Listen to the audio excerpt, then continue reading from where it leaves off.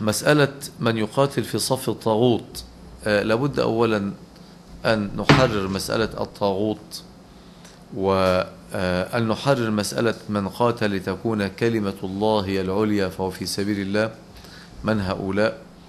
وهل هناك آه، شرط في قتال الطاغوت أن يكون الذي يقاتل تحت راية الأمير الممكن له أم إنه يعني يقومون كأعمال النهب والسلب آه، فيهجمون ويخبطون هنا وهناك.